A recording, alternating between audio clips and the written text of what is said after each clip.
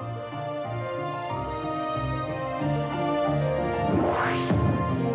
Se před šesti lety a prý byli šťastní. Tehdy 29-letý Petr s o rok starší Monikou vypadají na svatebních fotografiích jako dokonalý pár.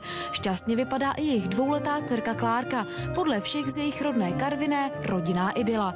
To, že pro rodinu bude letošní dovolená znamenat tragický konec, nikdo netuší. Ona vždycky říkala, jo, jsem velmi šťastná, jsem spokojená, jo, mám všechno, co, co si přeju a, a, a jsme zdraví, to je to nejdůležitější. V egyptské Hurgádě si užívají moře, slunce a hlavně jeden druhého. Navštíví akvapark, jezdí na tobogánu, s teď už osmiletou Klárkou se baví na dětské diskotéce. Idylickou dovolenou rodině může kazit snad jen Petrovo hlučné dohadování se s personálem, které musí řešit i delegát z cestovní kanceláře. Klary, co to piješ? Míchaný drink? Domácí. Je jim špatně, svou nevolnost ale přisuzují známé faraonově pomstě. Tohle je jejich poslední společné video a fotky. Za pár hodin bude jméno Kramných skloňovat celá Česká republika.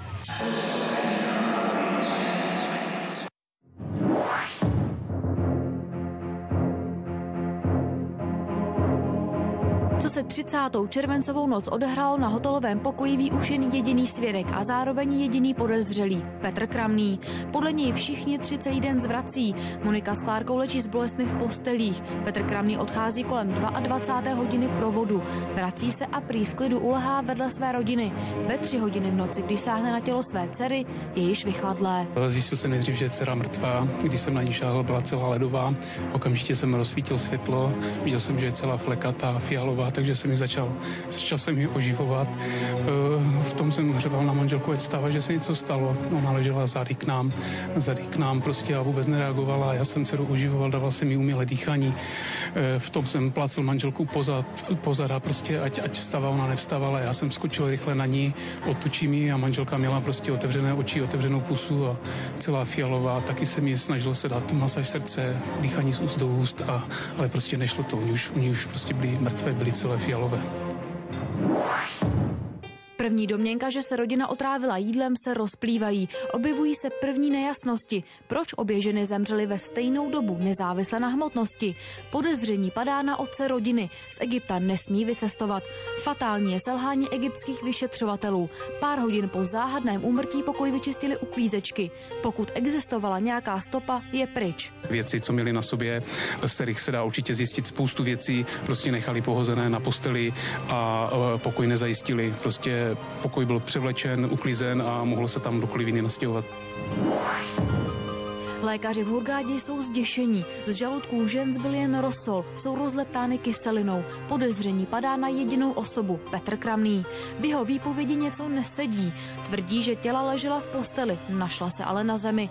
Tvrdí, že všechno vyzvracel. Lékaři mu ale vypumpovali z žaludku tekutinu. Navíc působí chladně, bez emocí. Svou manželku a dceru neoslovuje jmény. Možná stres a šok. Možná.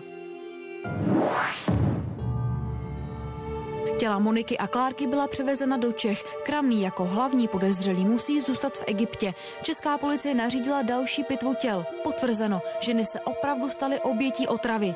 Jaký jed ale zabíjeli je stále záhadou. Stopy byly zamaskovány louhem. Ten žaludky drasticky rozleptal.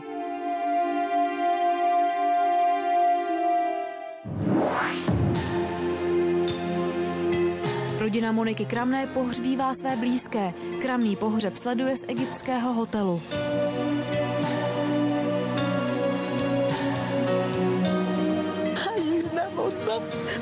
Hrozně, hrozně. Je to tragédie, velká tragédie pro obě, obě dvě rodiny.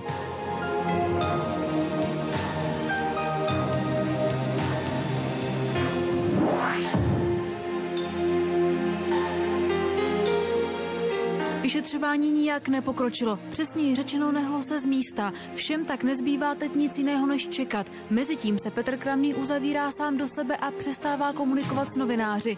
Na druhou stranu ale chodí v Hurgádě na pláž.